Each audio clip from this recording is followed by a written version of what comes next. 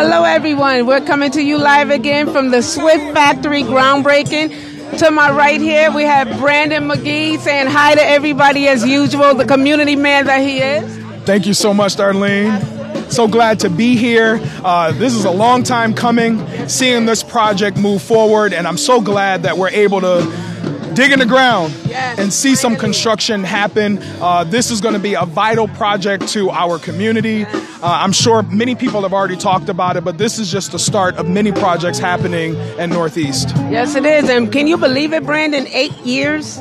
It's think it eight than years in the making. we got to give you some credit too. People coming to the Northeast NRZ. I know. Giving us these big old Yeah. grandiose ideas, and you, Ms. Nixon, and others have been on the ground really making sure that things Thank happen. you. So y'all Well, need to thank, thank her you. as well as our chairperson. I So- try to stay in, in tune with everything going on in our community, but You I love you, guy? Brandon. We love no, you but I would love to introduce himself. Uh, my name is Oni. Uh, I'm a partner in the firm called Breakfast, Lunch, and Dinner. Community Solutions was one of our first clients, and we kind of helped them along in doing the market research to get this off the ground. So it's an honor to be here on this day and working with a number of people in the private and public sector to, to finally realize this project. So it's such an honor.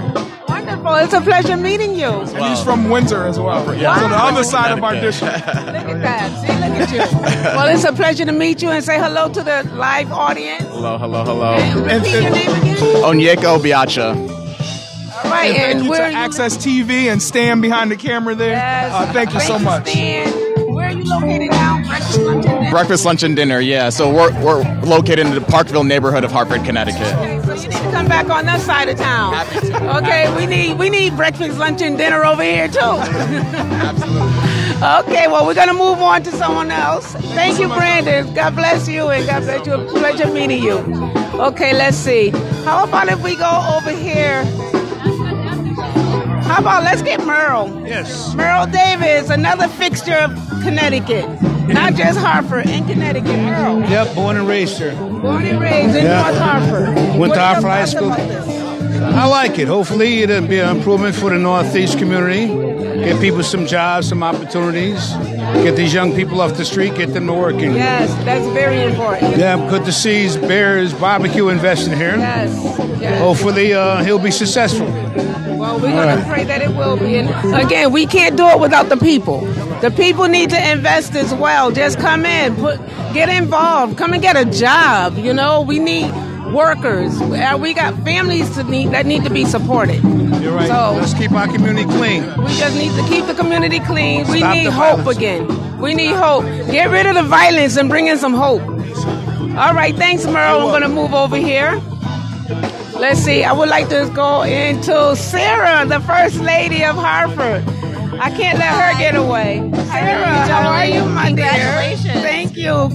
It's wonderful seeing you here. Nice to see you. Well, I would like to interview you. Tell me Okay. your thoughts on this new project. Well, this is super exciting. I mean, everybody has come together to make this project happen. The community, um, national investors, um, political leaders. We've all kind of seen this great coalition coming together, and Wonderful. very exciting. Like I said earlier, I feel like dancing. This is something that we need to be dancing about because for a long time we've been waiting for something. Yeah, do that move. Do that move. Y'all saw the first lady do that move on live TV. See that? okay, well, thank you, Sarah. yeah, of course. Congratulations. Thank you. Congratulations to the whole community. This is a community effort. All right, there. Thank you. Let's see, where can we go now? Hello.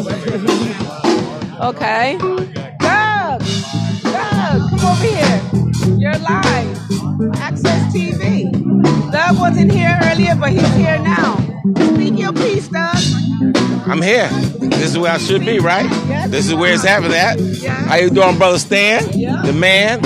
And uh, I'm enjoying this activity, opportunity to enhance the neighborhood. Nothing wrong about that. You know, I wish I got an invite, but that's okay. Come Oh, on. you did get an invite. I did. Anytime North Hartford has anything, you're invited. I'm all, I'm, I get a All right, I want a listen. special Oh, invite. we I did. want you You- pick that phone up and say, McCoy, you got to be there next time. Well, you didn't get that message from the pigeon that flew over? I thought that pigeon was dropped, but he ain't come by the cookout. So next year, I know. All right. See? Great See? job. I think it's a great thing. Great Yes, people. yes. And we're doing some good things with this house and this, and this building over here. Yes, It's about yes. time. It's well, about time. yes, it's about time. We need it, and it's hot out here. I know. Appreciate it, Dallas. Take Thank care. you. All right, there. Let's go and look and see what type of food they have over here. Bears provided the food, and everybody's over here getting their eat on. Let's see this.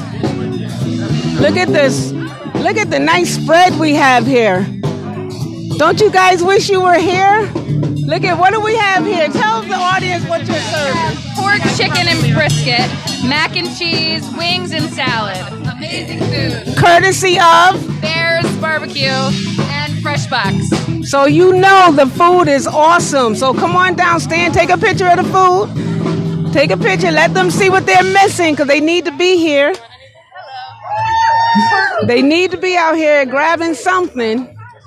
It's a wonderful occasion. We have live entertainment, we have music, food, good conversation, and it's free. So come on out and enjoy this wonderful celebration. The Swift Factory, 150 jobs. 150 sustainable jobs will be for the residents of this community. Please come out and get yourself acquainted. Come out here and talk to the people, see what type of positions that they're looking for. The older home over here, take a picture of what they're revitalizing. That was the gray house. That's where the community solution office is.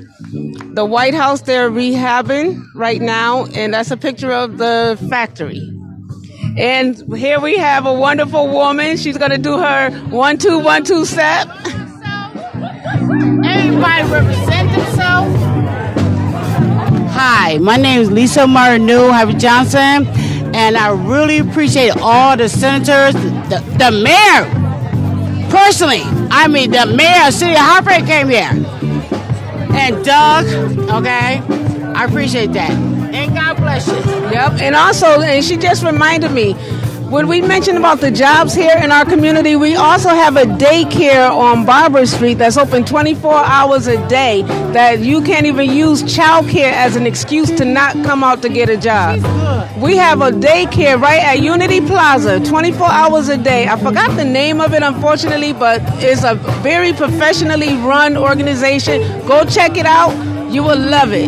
But I'm looking out for the families because as we stand here today, it's not about us, it's about our children. Right. So About the community. it's about the children, our tomorrow children, and we well, I would love to see them get more involved. So let's God bless you.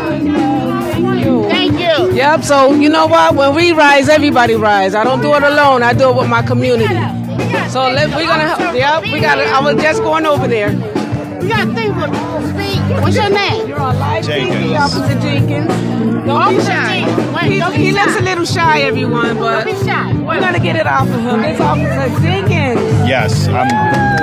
I Hartford Police Department is very excited to be here.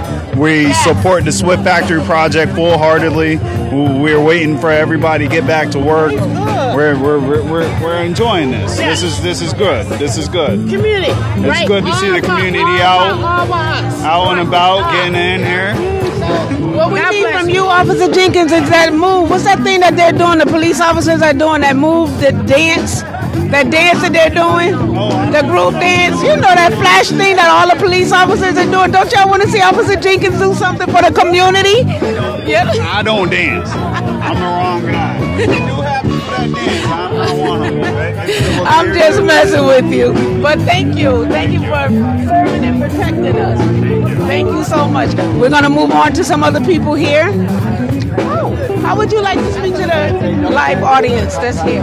Say that again. The live audience, you're live on TV. What's your name? Jeffrey Ford. Hi, Jeffy. How are you? You don't even remember me, do you? Okay, well, everybody, he just wants to me because no, I know. But listen, Jeffrey, what do you feel? We could talk about that in one minute. So tell me about what are your thoughts about this factor, this swim? Oh, I think it's great. I live right up the street from it. Look at that. And I met Patrick about eight years ago. Look at that, and that's when they moved into the community. Yeah, I It- to go meet him. You in my neighborhood. Exactly. Now we can get our people busy. And Mr. John Thomas, come on over here, John. He loves to talk. He loves it. Here's a microphone, John. Here's a microphone, John. What, what are we talking about here? Oh, okay. So it's- what you think about it? Well, it's wonderful to be at this point. It's been a long eight year process, a journey that was focused on economic development for North Hartford. And those eight years represent how hard it was to get investors to come in and invest in our neighborhood and in, in improving our lives through employment.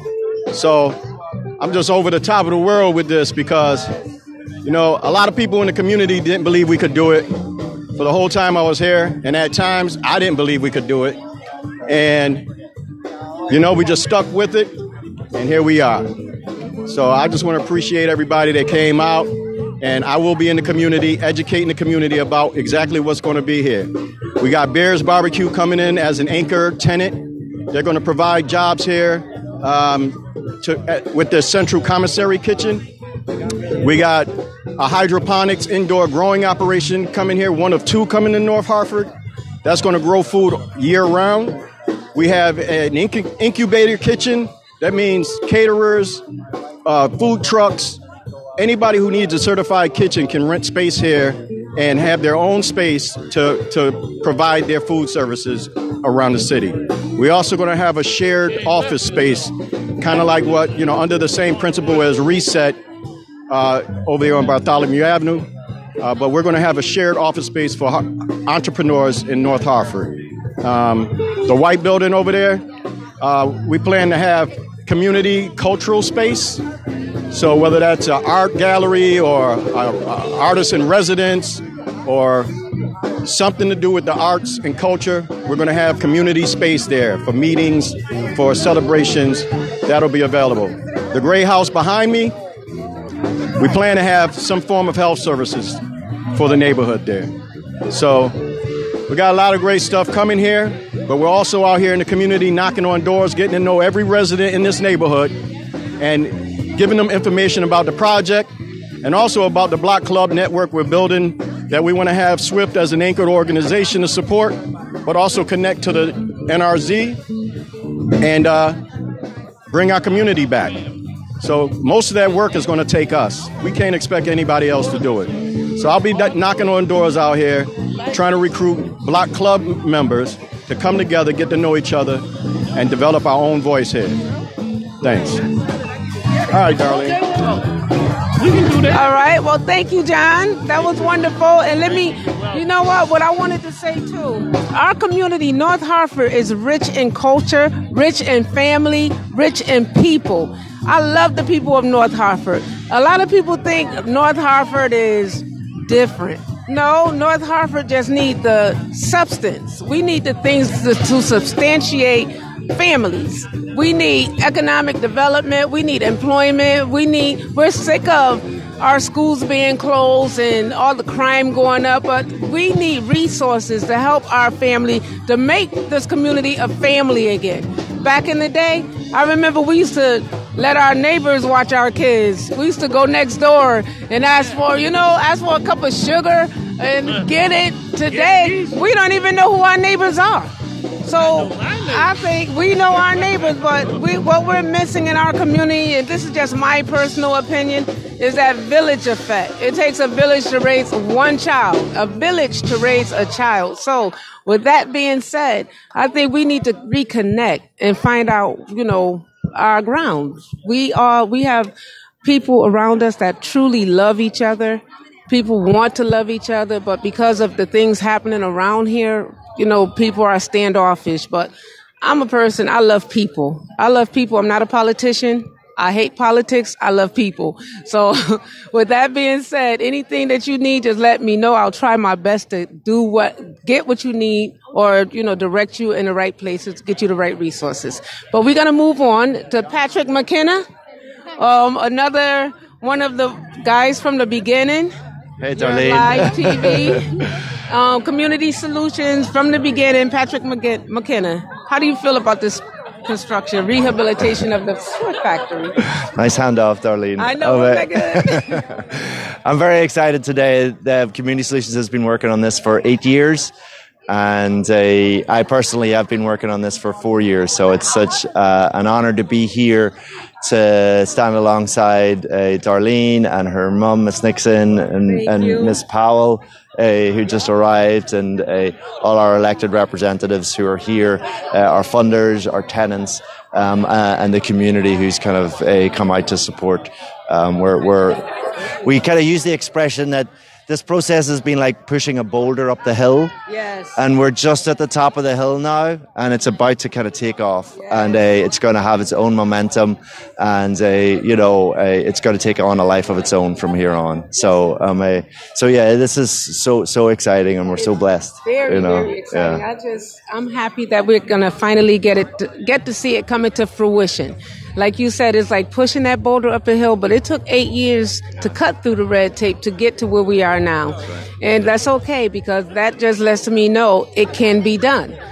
We are here at the mountaintop, and we will be here, and we're not dropping, and we're going to keep it moving because there are there's never an end. There's always going to be something to do. So, without me rambling on, because I know my thoughts, but um, mountaintop, I like that. yes, know, but yeah. listen, this is the mountaintop, so we just got to keep on pushing, and hopefully, you know, we're going to bring this, and we're to get jobs for our families and a community effort. It's everything in community. Let's start bringing the businesses back into this town, into this side of town, so we can start leveraging the playing field.